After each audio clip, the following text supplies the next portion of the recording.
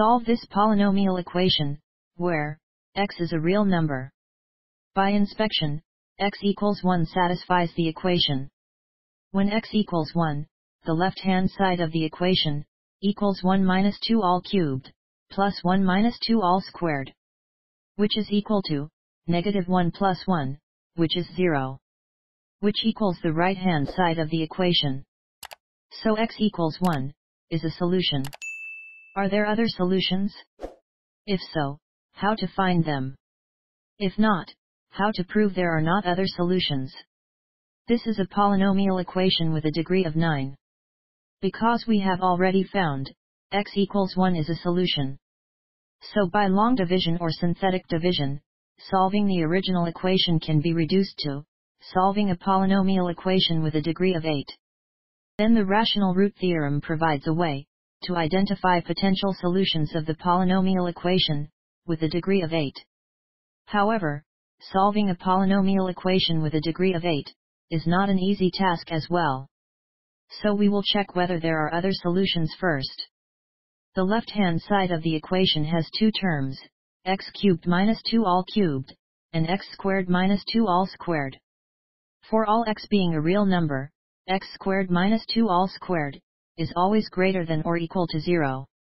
If x is greater than the cube root of 2, then x cubed minus 2 all cubed, is greater than 0. So when x is greater than the cube root of 2, none of the two terms on the left-hand side of the equation, is less than 0. x cubed minus 2 all cubed, is greater than 0. And x squared minus 2 all squared, is greater than or equal to 0. So the left-hand side of the equation, is greater than 0. Hence, there are no real solutions, when x is greater than the cube root of 2. If x is greater than 1, and is less than or equal to, the cube root of 2, then 2 minus x cubed, is greater than or equal to 0, and is less than 2 minus x squared, which is less than 1. As 2 minus x cubed is greater than or equal to 0, and is less than 1. So 2 minus x cubed all cubed, is less than or equal to 2 minus x cubed all squared. As 2 minus x cubed is greater than or equal to 0, and is less than 2 minus x squared, which is less than 1. So 2 minus x cubed all squared, is less than 2 minus x squared all squared. This implies that, x cubed minus 2 all cubed, plus x squared minus 2 all squared, is greater than 0. So the left-hand side of the equation, is greater than 0, when x is greater than 1, and is less than or equal to, the cube root of 2.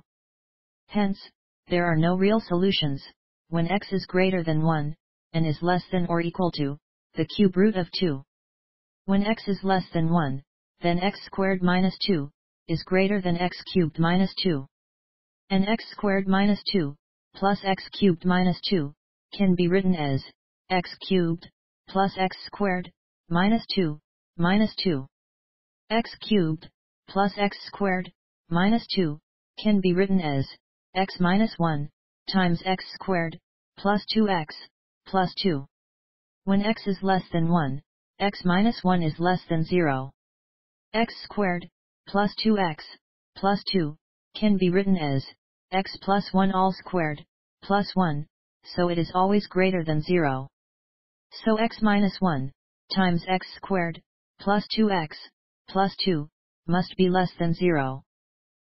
Then minus 2, so still less than 0. The above two inequalities imply that, negative 2 minus x cubed, is less than x squared minus 2, which is less than 2 minus x cubed. This is equivalent to, the absolute value of x squared minus 2, is less than 2 minus x cubed. Square both sides of the inequality, we have, x squared minus 2 all squared, is less than 2 minus x cubed all squared. As x is less than 1, so 2 minus x cubed, must be greater than 1. So 2 minus x cubed all squared, is less than 2 minus x cubed all cubed.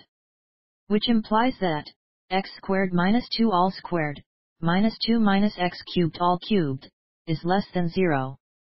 As negative 2 minus x cubed all cubed, is equal to, x cubed minus 2 all cubed.